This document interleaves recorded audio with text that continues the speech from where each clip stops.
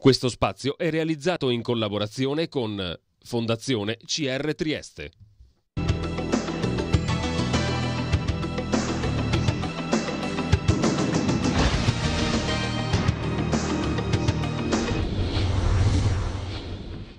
Trieste in diretta, stiamo insieme fino alle 18.32. Nella seconda parte avremo con noi la dottoressa Roberta Fedele che è responsabile delle professioni sanitarie e del, della prevenzione per Asugi, quindi parleremo della, della, situazione emergenziale dal punto di vista appunto del, del lavoro degli infermieri. Nella prima parte invece è tornato a un mese circa di distanza, perché l'altra volta era il 16 se ho visto, se ho visto bene. Eh, a un mese eh, di distanza il professor Guglielmo Cevolina, docente universitario di diritto pubblico. Sì, questa oh, volta... Vede?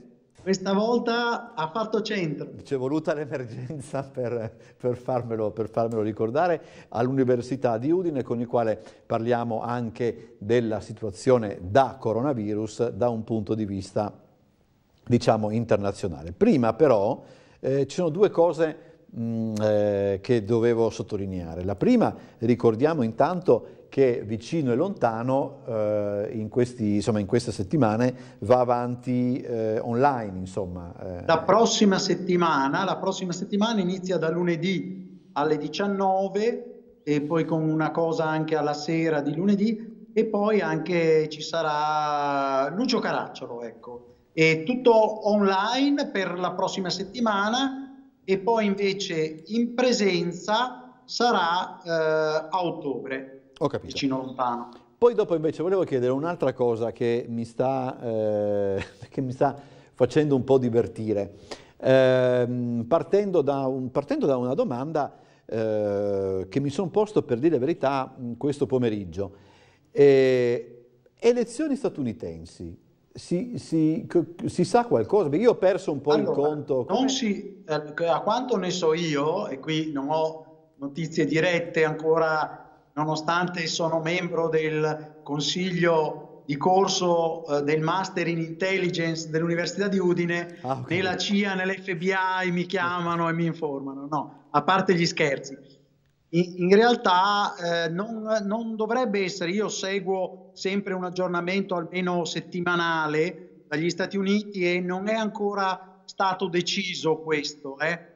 non è ancora stato deciso, eh, sebbene, sebbene, sono state sospese le ultime, gli ultimi aspetti diciamo, eh, delle, le, delle, primarie, mm. però ormai i candidati si sono manifestati e Biden, lo sfidante, ecco. eh. e, e, Trump eh, saranno loro due in sostanza. Allora, circola... E, sì, sì, però non è ancora deciso, non è ancora deciso se ci sarà un rinvio. Ecco, circola una, una ipotesi... Sono previste a novembre. A novembre sono previste sì, a novembre di solito è il secondo martedì di novembre o, o, sì. o, il primo, adesso non mi ricordo. Però volevo chiedere una cosa, perché circola eh, mh, un'ipotesi abbastanza strampalata per quanto riguarda il Partito Democratico, che cioè Biden andrebbe a candidare Michelle Obama come eh, vicepresidente.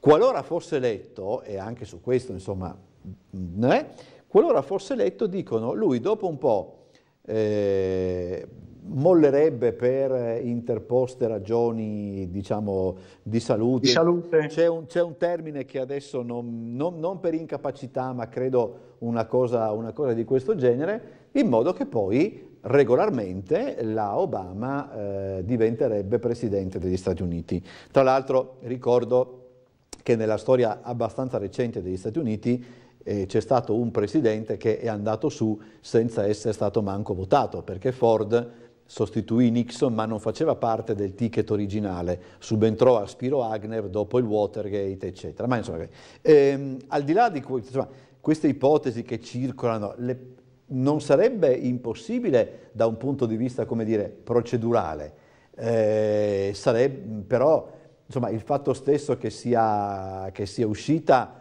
la dice lunga anche su come, su come, a mio avviso, su come i, democratici siano debolissimi in ogni caso.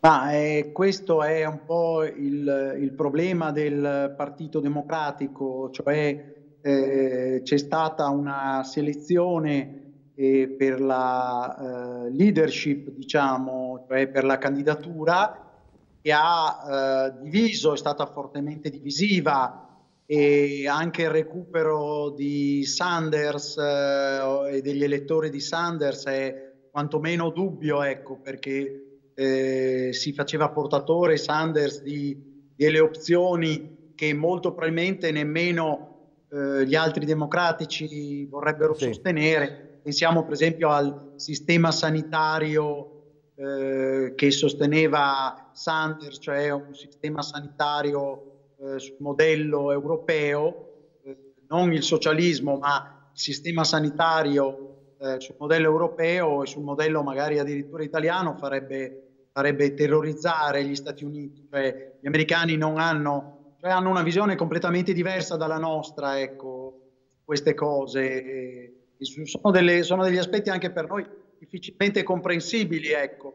Mm. Eh, però eh, sono le distanze tra gli elettorati, ecco queste. Però ecco, eh, si manifesta sempre di più questa ehm, complessità, criticità, conflittualità nel Partito Democratico e questo è un elemento di debolezza ovviamente del Partito Democratico, mentre l'elemento di forza sarebbe, come avevamo anche anticipato, un po' proprio la difficile gestione eh, da parte di Trump dell'emergenza coronavirus. Eh, eh, sì. Questa gestione è una gestione estremamente problematica. Abbiamo visto che eh, eh, proprio in questa fase, in, in queste ore, eh, sembra il paese più colpito gli Stati Uniti. Ecco. Eh, e quindi qualche responsabilità certo può essere attribuita alla gestione di Trump che è stata sicuramente troppo eh, disinvolta diciamo, all'inizio. Insomma, sì, sì. Allora, eh, lasciamo gli Stati Uniti lasciamo da parte eh, abbiamo appreso che eh, per quanto riguarda la regina d'Inghilterra ci sarà una sorta di, mh, mm, ho letto da qualche parte, ho fatto un po' sobbalzare per dire la verità, una sorta di esilio, perché sembra che per questioni, siccome anche la Gran Bretagna non se la passa tutt'altro che bene in questo momento, quindi la regina rimane, rimarrà assente da impegni ufficiali, cioè rimarrà confinata a Windsor per perlomeno, eh, perlomeno due mesi. Eh, Vediamo invece questa, questa questione appunto di chiusure e aperture eh, nel resto del mondo e in Italia dove ci sono, che ne so, delle, delle, delle fughe in avanti, dei, de, de, degli stop, dei retroced, delle, delle retro, come si dice, dei, dei passi indietro, eh, eccetera. Lì da che cosa anche dipende? E c'è anche eh, ulteriormente la eh, come posso dire, la, la, la difficoltà dell'Europa di porre, se non una regola per tutti, ma come, come minimo una sorta di, come posso dire, di, di, di, parametro che possa essere utilizzato un po' dappertutto, ecco, insomma. Beh, ecco, l'Europa eh, sicuramente ha mancato in coordinamento, cioè l'Europa eh, che non ha delle competenze specifiche in materia di sanità, però avrebbe potuto, sia perché è un'emergenza mondiale, eh, sia perché è un'emergenza che ha colpito pesantemente il territorio eh, dell'Unione Europea, avrebbe potuto coordinare eh, le eh, misure e anche la fase di riapertura. Invece siamo in ordine sparso. Ecco, l'unico aspetto forse di coordinamento che si sta verificando è almeno il dialogo tra Francia e Germania, sembra per la riapertura dei confini interni all'Europa. Sembra che proprio in queste ore ci, siano, ci sia del dialogo per cercare di riaprire questi confini interni. Teniamo presente che tra i vari aspetti che si sono sospesi eh, con l'emergenza, oltre alla sospensione eh, diciamo del, eh, dei vincoli di Maastricht, oltre alla sospensione del, della, degli aiuti di Stato, della disciplina degli aiuti di Stato, oltre a, a, a, questi aspetti c'è stata la sospensione di Schengen in pratica, perché qua non si può passare i confini in sostanza. E allora l'unico dialogo che adesso sta riemergendo è questo tra Germania e Francia, che almeno tra loro stanno pensando di, di riaprire eh, il, questa questione invece che mh, è letta in un certo modo e annunciata in un certo modo è abbastanza spiacevole, per esempio dei corridoi privilegiati per favorire il turismo in certe nazioni dell'Unione Europea rispetto ad altre, che, quali conseguenze potrebbe avere, non dico economiche perché quello poi è abbastanza immaginabile, ma proprio a livello di, di eh, anche a livello di diplomazia, ecco se vogliamo. Ma diciamo che siamo alla follia, ecco, nella, manca- nella mancanza di coordinamento.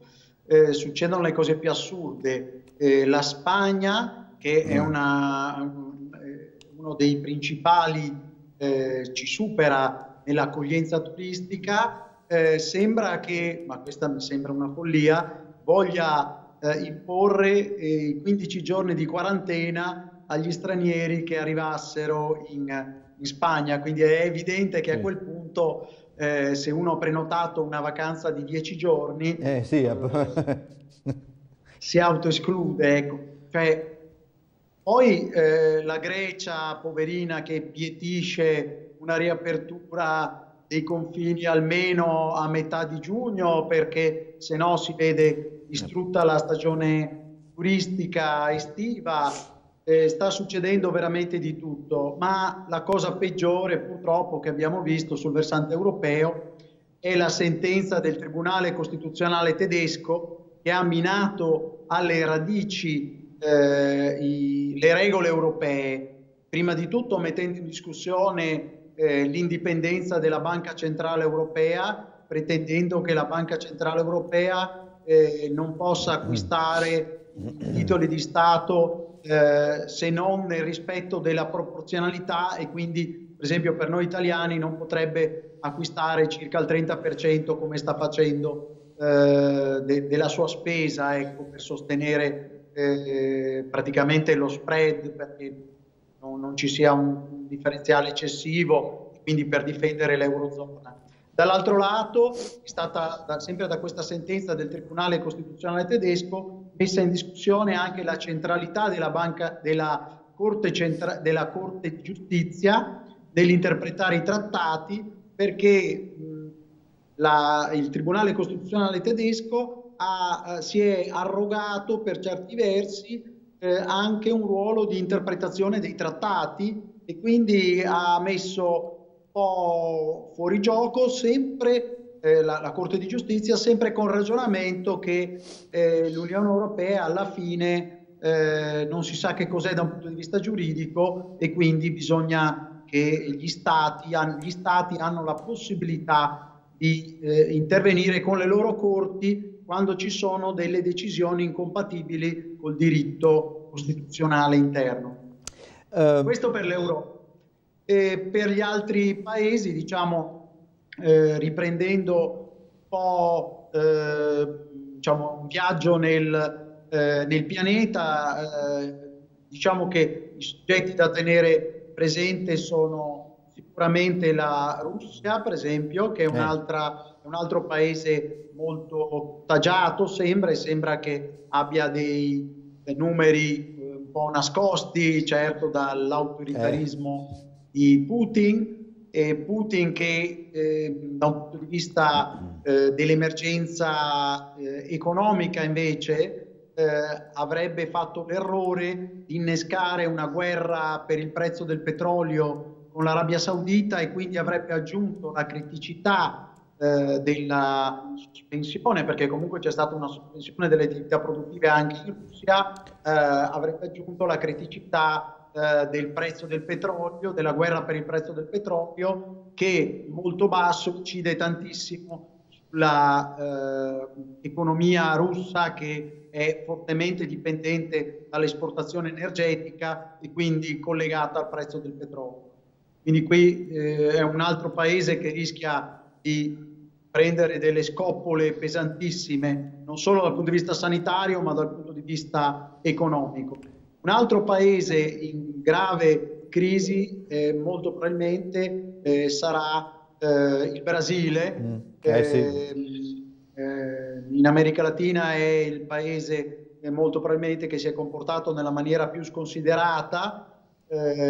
ci sono paesi come esempio la Colombia che io seguo che sono, molto, sono stati abbastanza rigorosi nonostante la situazione anche loro di difficile controllo, sì. immagino eh, in certe zone delle eh, sorta di favelas che ci sono anche a, anche a Bogotà, per esempio. Però eh, in, eh, in, America Latina e in particolare Colombia girano oltre che le mascherine anche delle visiere da saldatore, tra virgolette, trasparenti in plexigas, cioè delle forme che, sì, sì. che noi non abbiamo notato, per esempio. Quindi sono, sono molto rigorosi. La Colombia è il paese più rigoroso nel tentare di eh, difendersi dal coronavirus.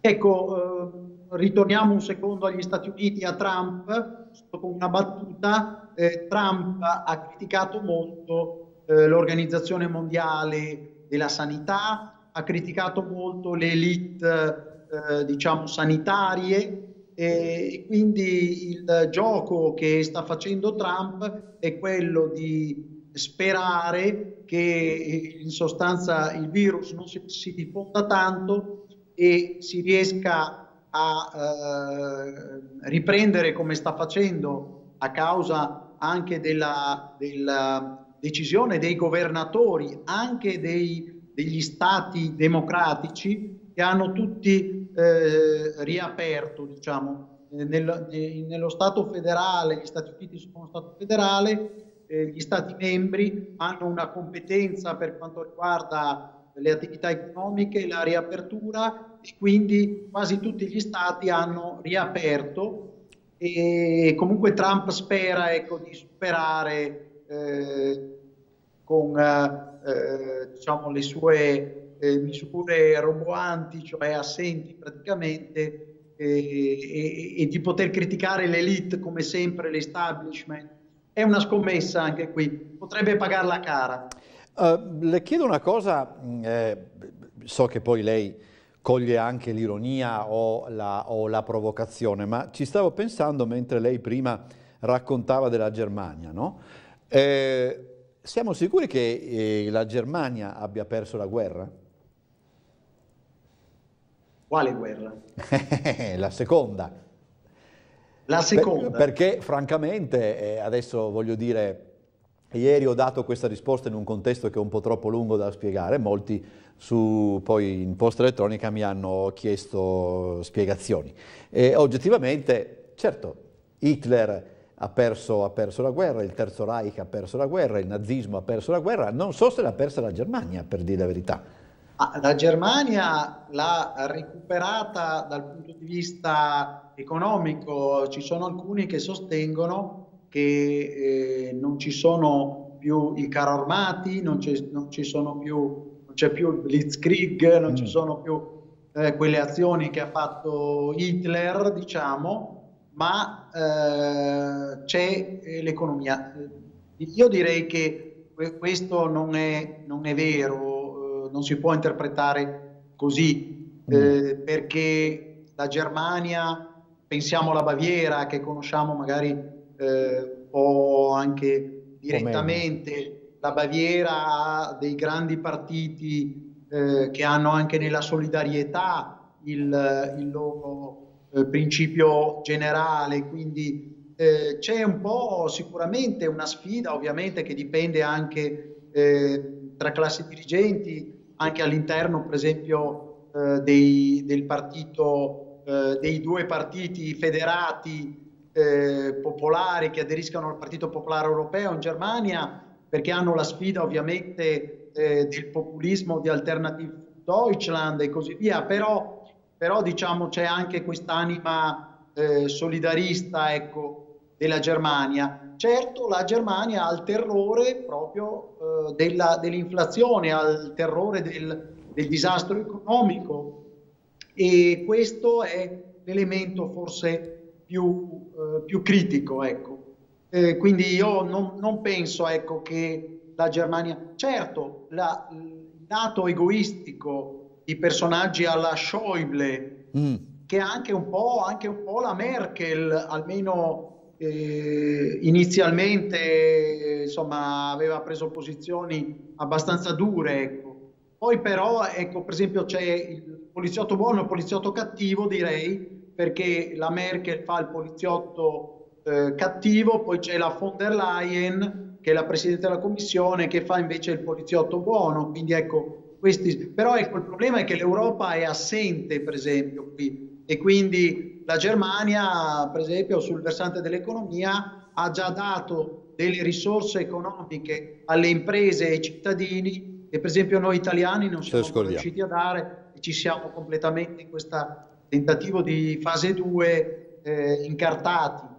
Allora, cambiamo, cambiamo argomento.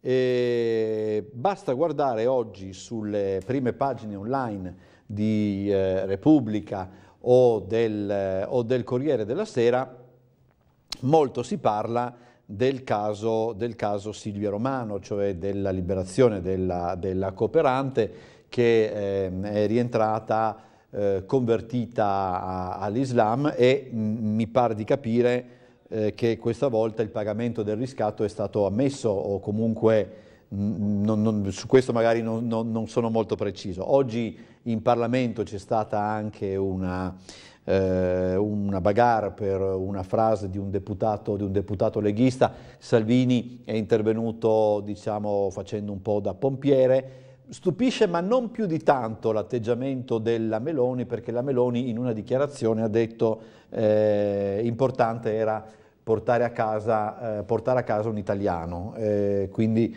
ma stu non stupisce più di tanto perché per esempio mh, certe prese di posizione da parte di Fratelli d'Italia quando si tratta di problematiche di questo genere sono abbastanza comuni per dire la verità.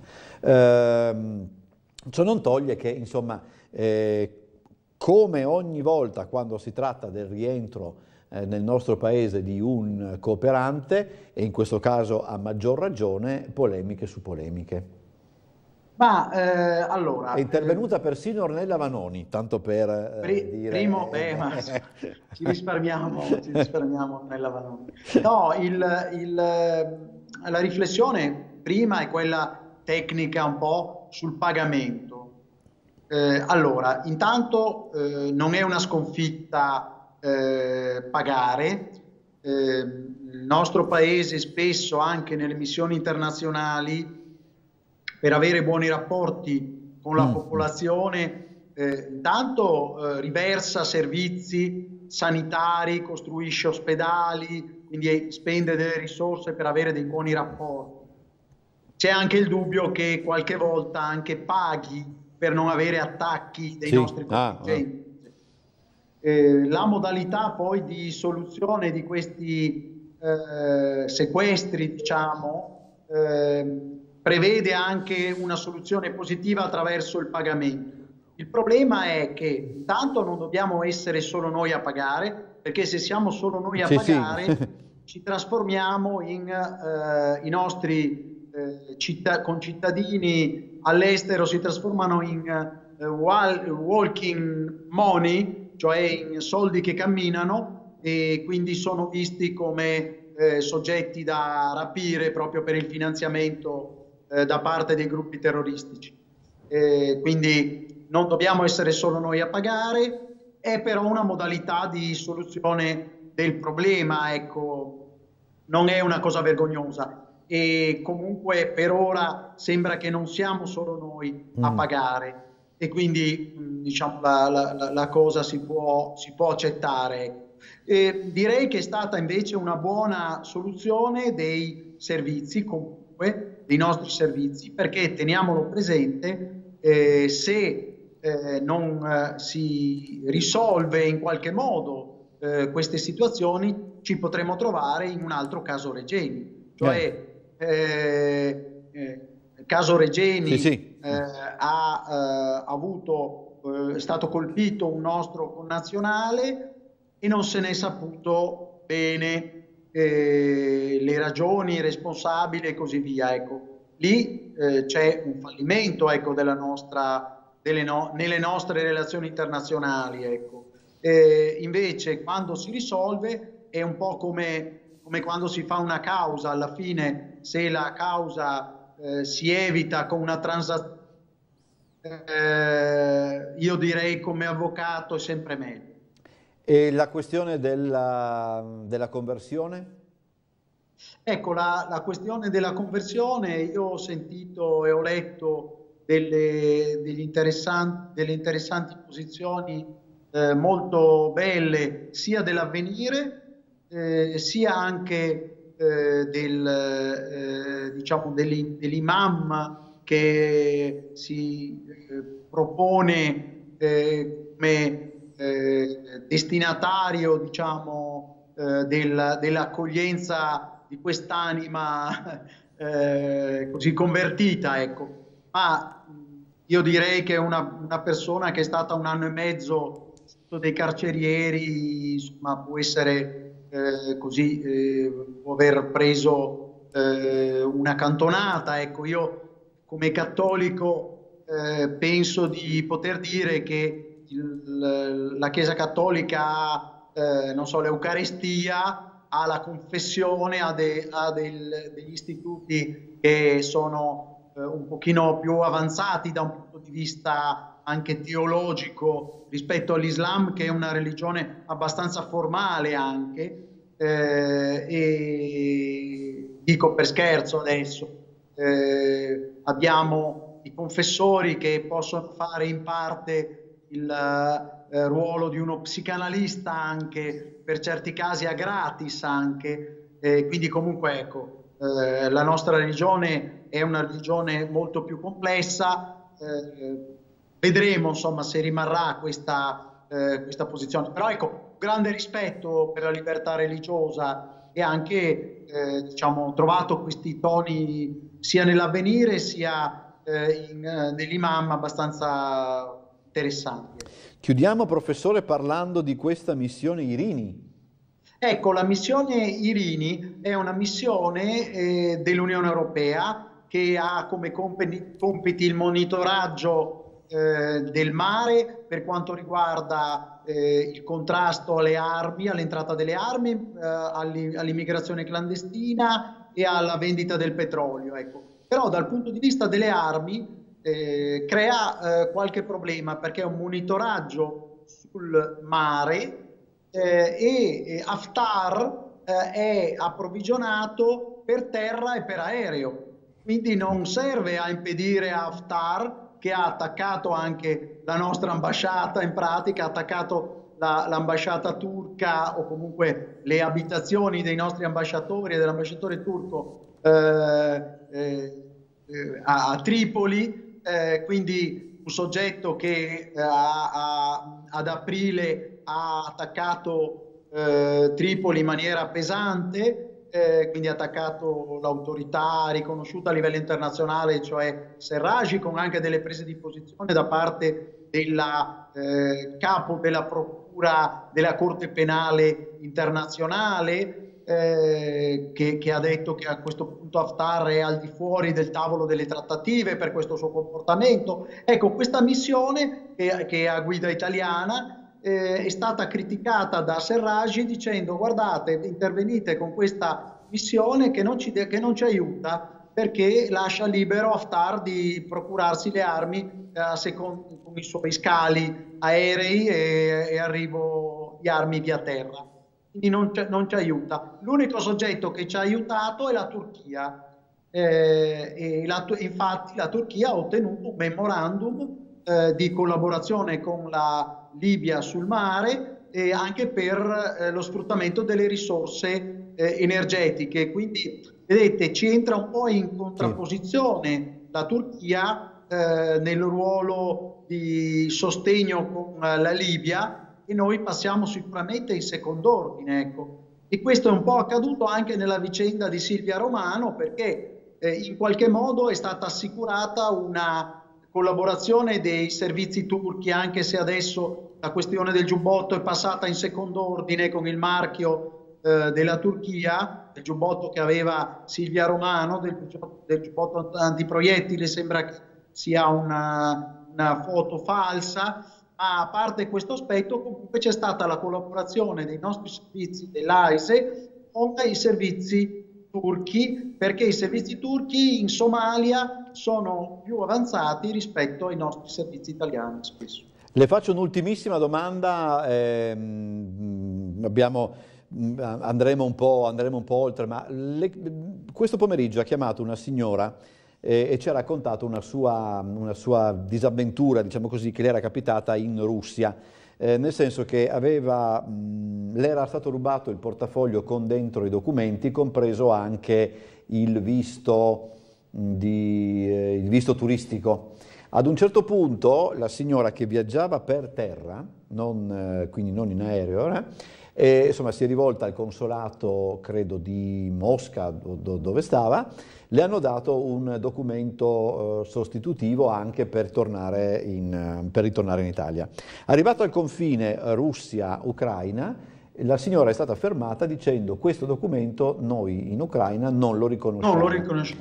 Allora questa signora poi è riuscita con l'aiuto di un funzionario russo a uh, rientrare in Russia, piuttosto fortunosamente a prendere un aereo, quindi insomma è rientrata, ce l'ha fatto, eccetera. Però in questo momento di limbo le, dove, le toccato, è toccato, stare per qualche ora, ah, eh, è riuscita a telefonare al Ministero degli Esteri e il Ministero degli Esteri le ha risposto noi non rispondiamo degli errori delle, di un consolato. Eh, adesso al di là di tutto, è una risposta da sentirsi dire dal, dal, Ministero degli Esteri, una cosa di questo genere? Ma, ma, su questo versante dobbiamo per esempio sfruttare anche la cittadinanza europea, per esempio, nel caso in cui eh, il nostro paese eh, non sia in grado di sostenere con la propria diplomazia eh, in un certo paese, eh, possiamo rivolgersi anche a un altro consolato, però ecco, Qui mi sembra che, allora, prima di tutto ovviamente eh, c'è la conflittualità tra Russia e ecco, Ucraina, sì, certo, certo. io ho toccato con mano in tavoli eh, diplomatici, in conferenze internazionali, eh, c'è una conflittualità estrema e quindi dispetti diplomatici. Ecco, eh, questa situazione è ben conosciuta dal nostro personale diplomatico quindi, eh, come dire, dovrebbe trovare delle soluzioni a a supporto ecco, eh, del, del, nostro, eh, del, del, nostro, personale, di chi ha, di chi ha dei documenti italiani in sostanza, eh, perché il dovere, questo è il nostro dovere. Quindi mi sembra un po' strano questo, questo comportamento. Ecco. E anche perché è previsto un diritto di ritornare in Italia, eh, almeno da questa emergenza, che questa disciplina l'emergenza complicatissima, sicuramente si può rientrare. Grazie professore per essere stato con noi, è sempre piacevole. Ci vediamo tra grazie. un mesetto, noi abbiamo sempre sì, di mese in mese. Ottimo. Grazie Va professore, bene. grazie professor Caro Cevolini. Saluto, grazie, grazie. Buon pomeriggio e buon lavoro. Adesso eh, chiudiamo il collegamento con il professore. Pubblicità.